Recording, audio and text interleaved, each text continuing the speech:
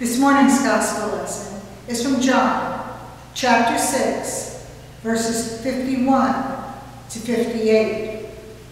Jesus is speaking. I am the living bread that came down from heaven. Whoever eats of this bread will live forever, and the bread that I will give for the life of the world is my flesh.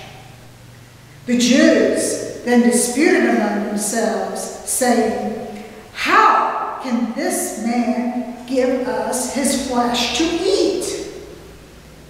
So Jesus said to them, Very truly I tell you, unless you eat the flesh of the Son of Man and drink his blood, you have no life in you.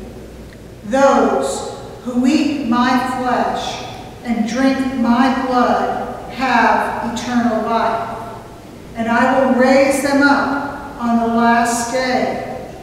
For my flesh is true food, and my blood is true drink. Those who eat my flesh and drink my blood abide in me, and I in them.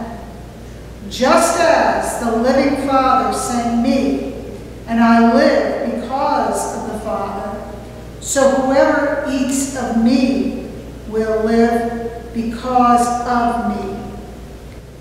This is the bread that came down from heaven, not like that which your ancestors ate, and they died. But the one who eats this bread will live forever. This is the word of the Lord. Thanks be to God.